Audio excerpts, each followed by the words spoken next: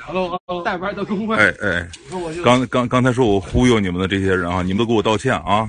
谁说忽悠的？哎，我不知道，好多白粥说我大忽悠。我上班了，入职了。哎，周周，先给先给白粥们展示一下你那工牌吧，我看跟我那有什么区别？就是帅一点。哎，这是实话，没毛病。来，各位，你们都看看啊。有工号吗？有工有工号。二零二零幺七幺二零九。长？是啊，这工号，哎，所所以说，我再提醒各位白粥啊，你们刚才说我忽悠的人，你们必须得跟我道歉啊！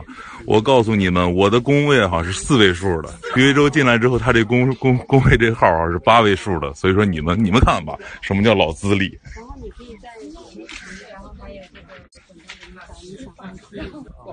行，现在也不用藏着掖着了，我跟你们各位介绍一下啊，现在，呃，许维洲入职新浪娱乐，他是来具体做什么工作呢？我告诉你啊，他现在就是我们新浪娱乐微博组的一员。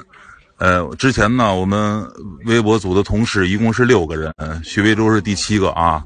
我是第七个。美美女师傅刚才发发话了，说先教他发第一条微博，但是我觉得这事儿他应该懂。但是，按照我们新浪娱乐的这个要求，看看许魏洲在这工位上，他以用新浪娱乐的大号发出来的第一条内容是什么？好久没有没有电脑了。